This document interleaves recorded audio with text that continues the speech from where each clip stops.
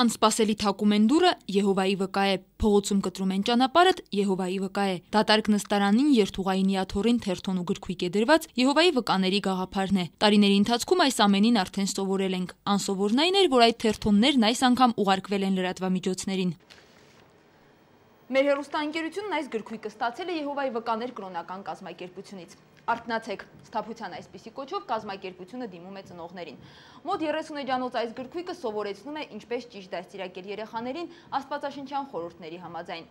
Գրքույկը գունավոր է, նկարազարդ, հերոսները ոչ հայկական դիմագծերով։ Այն լույս է տեսել 83 լեզվով 40 միլիոն տպականակով։ Տարբեր առիթներով մենք ենք փորձել օրենսդրից, հոգևորականից ու հոգեբանից ճշտել, ինչ է հոգևորսությունը։ Հիմա մենք ենք հարցնում, ինչ է սա։ 1991-ին ընդունված խղճի ազատության եւ կրոնական կազմակերպությունների մասին օրենքում հոգեվորսության սահմանումը թերի էր։ Այն չամբողջացավ նաեւ 1997-ին 2001-ին օրենքում կատարված փոփոխությունների արդյունքում։ 2009-ին փորձեցին խստացնել օրենքն ու մասնավորապես հոգեվորսությունը սահմանող հոդվածը։ Նախագիծն ուղարկվեց Վենետիկի հանձնաժողով արժանացավ քննադատության։ Հանձնաժողովը դեմ էր պատմականորեն հայ առաքելական Սուրբ եկեղեցուն տրված առանձնահատուկ դերին, համարելով այն խտրականության դրսևորում կրոնական կազմակերպությունների նկատմամբ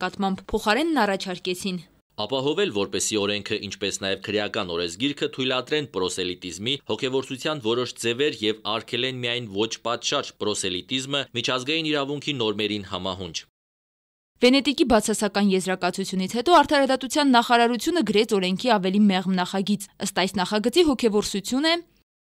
է Դավանափոխ անելու նպատակով կրոնական բնույթի ցանկացած քարոզչական ներգործություն, որը դրսևորվում է այդ անձի կամ նրա մերձավորի նկատմամբ ֆիզիկական կամ հոգեբանական բռնություն գործադրելով կամ դա գործադրելու սպառնալիքով, նյութական կամ սոցիալական բնույթի առավելություն տրամադրելով կամ կախվածությունն օգտագործելով։